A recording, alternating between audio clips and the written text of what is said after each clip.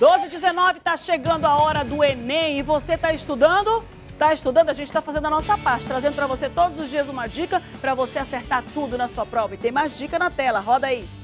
Liga dos Aprovados, Enem 2018. Dica do professor.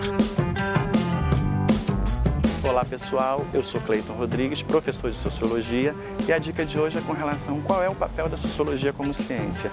A Sociologia foi criada entre os séculos 18 e 19 para tentar solucionar problemas sociais.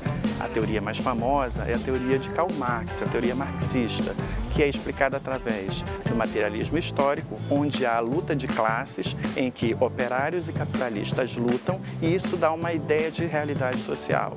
Então, os problemas criados dentro do sistema capitalista são, na verdade, resultados dessa luta de classe entre operários e os capitalistas. E não esqueça, passar no vestibular não é sorte, é resultado de muita dedicação e estudo. Oferecimento Uninorte. Conteúdo Astem Cursos e Vestibulares. Apoio Livrarias Lira. Vamos para lá, 12 horas e 20 minutos, trazer denúncia da comunidade que vem lá do Beco Olinda. Denúncia é falta de iluminação pública, lixeira viciada, pontes que, estão, que estão quebradas e o Beco Olinda fica lá na colônia Terra Nova. Eu quero ouvir qual é a reclamação dos moradores lá do Beco Nova Olinda, na colônia Terra Nova. Quem foi lá conferir foi o Vitor Gouveia e é ele que fala na tela. Vitor? O programa da comunidade recebeu uma denúncia através do WhatsApp e nós viemos aqui verificar essa denúncia. Aqui no Beco Olinda, no bairro Terra Nova. Quem mandou a denúncia foi o Alex. Confira aí o vídeo que ele mandou pra gente. Olha aí como é que tá nosso beco. Rua daqui, ó. Rua, aqui é o poste, tô focando. Não dá pra ver nada. No escuro, não tem lâmpada. Ó, tô focando é o poste, ó. Todo no escuro. A gente tenta mandar ajeitar, mas não adianta. Todo tempo no escuro aqui. Aí fica ladrão, fica direto pra cá. Segundo a denúncia aí do Alex, aqui não tem iluminação nenhuma de noite. A gente pode ver algumas lâmpadas ali, ó. Segundo ele, todas estão queimadas, nenhuma funciona e aqui de noite fica um breu total. Além da iluminação, a gente pode ver a questão também da infraestrutura aqui do local, que é bem precária. Segundo os moradores, quando chove, alaga, vira um lamaçal e a situação fica totalmente complicada. Nós vamos andar até o final do beco para conversar com os moradores, para eles explicarem melhor essa situação para a gente. Eles já, já falaram que já reclamaram, já tentaram entrar em contato com as autoridades, mas só que ninguém responde, ninguém atende e a situação aqui do local só piora. Alex, fala pra gente o que está acontecendo aqui. Rapaz, aqui é muito, muito ruim é a iluminação, a nossa passagem de, de andamento aqui, o esgoto que não tem saneamento. Falta a vizinha lá de trás também já perdeu material de, de doméstico, geladeira, fogão, por causa do beco. E quando chove muito, vem muita água. No beco ali nós já pedimos para liberar aquela casinha do beco para fazer uma rua, liberar uma rua. E os moradores daqui mesmo já, já falaram que podiam até afastar mais a casa para aumentar, para virar uma rua mesmo normal. É mais sobre isso mesmo, da iluminação, nosso saneamento básico daqui e não tem. O, o garapé, que já, já, já vieram fazer a, a, medição, mas nunca vieram fazer a tubulação de esgoto. Olha, Márcio, eu vou pedir aqui pro Tony. Tony, mostra aqui esse garapé aqui atrás. Mostra o garapé e a gente vai ver que a situação é bem precária mesmo, tem muito lixo. E eu vou pedir pro Tony mostrar aquela casa ali também, que segundo o Alex aqui, quando chove, a água beira ali e, e até perigoso dessa casa desabar. Segundo o Alex falou que daqui a um, uns poucos meses, quando começarem a, as chuvas, essa casa pode desabar. E a situação está bem complicada. Eles já entraram em contato com as autoridades, mas ninguém responde. E agora o que, que vocês esperam, Alex? O que, que vocês esperam da, da, da, das autoridades competentes que elas possam olhar para vocês um pouquinho mais aqui e venham resolver essa situação? É, a melhoria mais do nosso saneamento do, do, esgoto, da rua, do beco aqui, né? Da iluminação, que fica muito escuro à noite. Tá tendo roubo aí na frente. O cara não pode mais ficar com o celular, nada, com criança na rua mais de noite. Aqui no beco, justamente, olha, o Garapé tem essa, essa passagem aí, porque o pessoal fizeram para não passar água, porque estava sendo prejudicada a minha vizinha, eu já entrou água na nossa casa também. À noite, eu chego do colégio que tá tudo escuro, eu venho só, nem toda vez o meu marido pode me buscar né? É tudo escuro, a gente liga, a gente reclama, continua na mesma, entendeu? Continua na mesma, a conta é todos os meses. E vocês pagam taxa de iluminação normal aqui? Pagamos taxas, a, a nossa energia é 600, é 300, que não era para estar tá este valor para nós, principalmente aqui que nós não temos é, é, acompanhamento de nada aqui. Vocês estão vendo a situação do Garapé. As crianças aqui adoecem, a gente só vive em pronto-socorro, justamente por causa desta lama, desse lixo. Aqui todo mundo se reúne para limpar o Garapé, se reúne para fazer essas pequenas barreiras aqui, justamente para ver se melhora mais. Então eles têm que ajudar a gente, tem que olhar um pouco para a gente, entendeu? E fazer. A gente aqui não está pedindo, a gente está exigindo isso, que é direito nosso para eles olharem para a gente um pouco, mano. E tem muita gente também prejudicada aqui que pode falar um pouco também sobre essa situação aqui. E Alex, tu estava me contando ali que a iluminação tem um pouco de iluminação à noite porque os moradores botaram lâmpadas nas frentes da casa, é isso mesmo? Na frente da casa nós colocamos a lâmpada para ver se clareia mais. Esse poste daqui da frente só acende de vez em quando. Tem dia que acende, tem dia que não acende, o outro de lá não acende mais nada. E o lado da, da rua também. É tudo no escuro de lá. Olha aí, Márcia, essa é a situação aqui do Becolinda na Terra Nova. Não tem iluminação, não tem saneamento básico, não tem infraestrutura. Eles falaram que os políticos sempre vêm aqui na época de eleição, pedir voto, mas a situação é desse jeito, né, Alex? É desse jeito. Eles não vêm, não vêm mais porque a gente também não deixa mais também ele vir, por causa disso. Porque eles prometem, prometem, mas não faz. Já chega do povo ser enganado, né? Então é isso, Márcia, essa é a situação do Becolinda. Espero que as autoridades agora tomem ciência e resolvam esse problema aqui. Volto com você.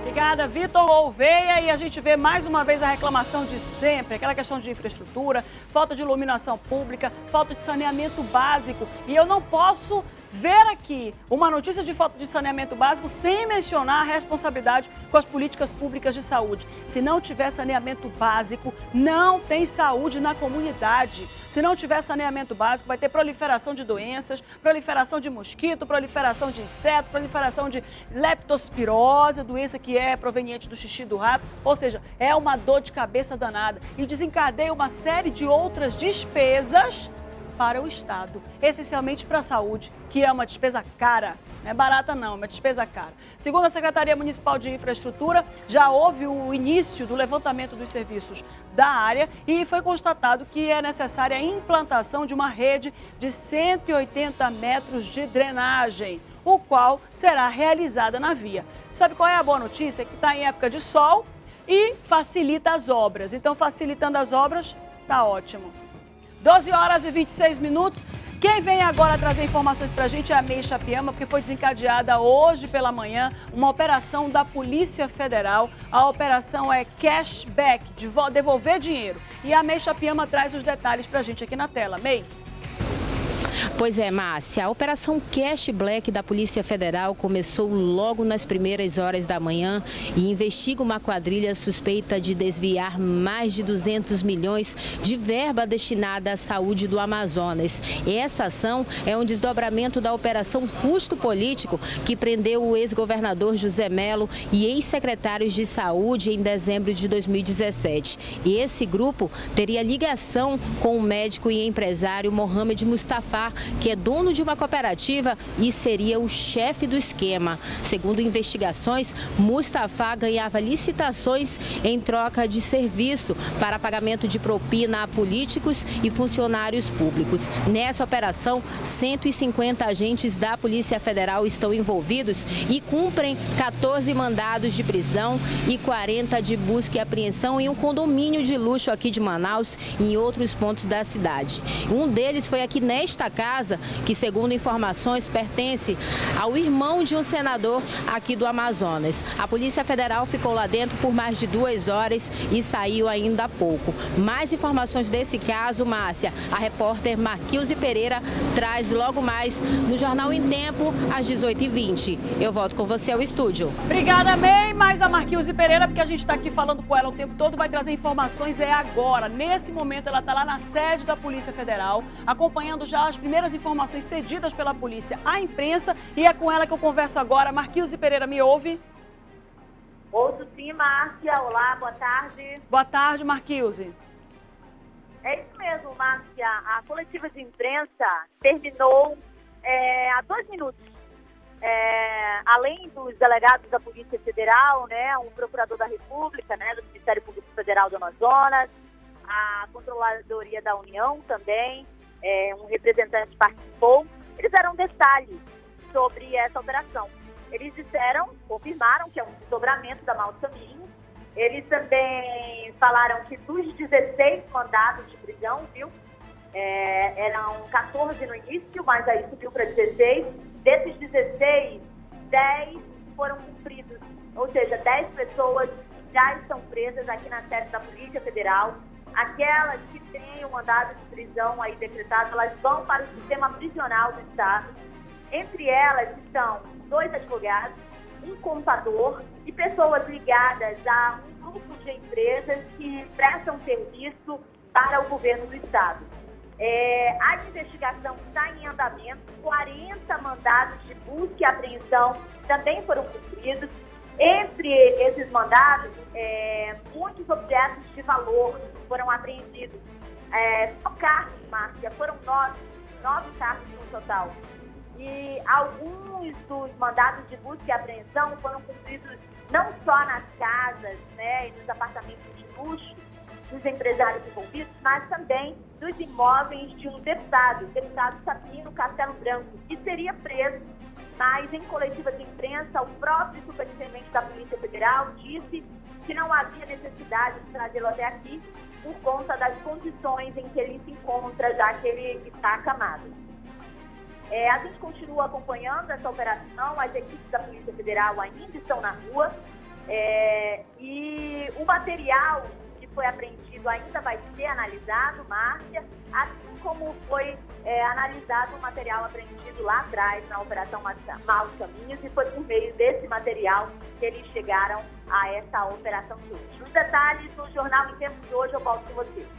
Obrigada, Marquinhos Pereira, que trouxe informações ao vivo da Polícia Federal, da sede da Polícia Federal, onde aconteceu uma coletiva para trazer informações desse desenrolar da Operação Maus Caminhos, que é chamada Operação Cashback, que, que é uma, uma sigla em inglês, em inglês, que significa dinheiro de volta, devolução de dinheiro. Então, muitos nomes, muitos nomes foram mencionados, né? Os mandados de prisão e de busca e apreensão foram encontrados e a gente foram, foram estão em andamento e aí a gente está trazendo para você aí alguns mandados que foram cumpridos e alguns mandados que não foram cumpridos. Esses nomes que você está me dizendo agora que não foram cumpridos, é isso, Ivan? Os, os nomes que aparecem com mandado de prisão, isso. É, Lino Xíchero, infelizmente, a gente traz aí o irmão do, do senador que foi mencionado pela Marquinhos Pereira, Murad Aziz, e tem um outro nome que não foi encontrado, apesar de ter sido é, expedido um mandado de, de prisão, que pode ser convertido num mandado de condução coercitiva. É importante que se diga. A Polícia Federal, no primeiro momento, ela dispara uma série de mandados de prisão e com as primeiras oitivas ela acaba modificando o mandado de prisão para um mandado de, de condução coercitiva, ou seja, a pessoa vai até a sede da Polícia Federal, faz os esclarecimentos. A Marquise Pereira mencionou Sabino Castelo Branco, só que Sabino Castelo Branco, como todo mundo sabe, está em tratamento de saúde em São Paulo, já tem acho que um ano, né? E aí a gente está trazendo para você que tem do outro lado as últimas informações e detalhes de toda essa operação, com as informações que Meixa Piama trouxe para a gente e outras informações que a Marquise Pereira está apurando nesse momento na Delegacia Federal, na Polícia Federal. A gente traz às 6h20 no nosso Jornal em Tempo. Vamos encerrar Vamos encerrar o nosso programa da comunidade. Amanhã a gente mostra o resto dos vídeos da garotada aí do nosso Agora é Festa Kids. Um grande beijo para você. Continuem mandando os vídeos que amanhã tem mais cinco pessoas além das cinco de hoje. Quem recebeu nossa ligação, quem foi contactado, tem que vir hoje buscar lá a autorização para poder entrar no, no, no camarim, a credencial, ok? Um beijo, pessoal. Tchau!